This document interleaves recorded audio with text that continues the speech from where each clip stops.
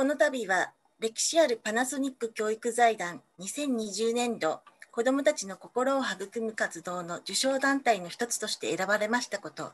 大変光栄に感じております。これまでの活動をご評価いただいたことはとても大きな励みとなり、これからの活動への原動力となります。また、Zoom 授賞式に参加された多くの素晴らしい団体様の活動を知ることができたのは、活動への素晴らしい刺激となりました。概略をご紹介します。私たちは2017年度から札幌市内の一児童会館から活動をスタートしました。翌2018年度には20カ所の児童会館、小学校、中等教育学校などに活動を広げることができました。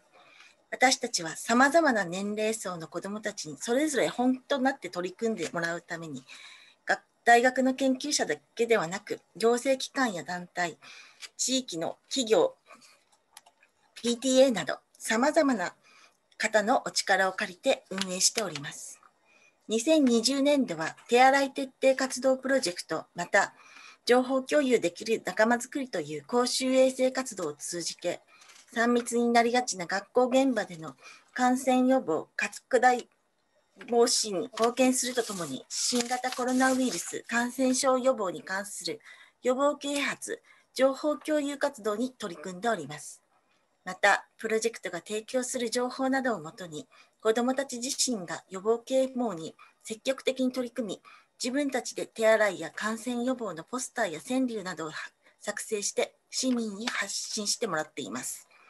最終的に子どもたちが助けてもらいっぱなしでではなく、自分にできることを行い、社会にお返しするシステム構築を目指し、これからも取り組んでまいります。ご選出いただき、本当にありがとうございました。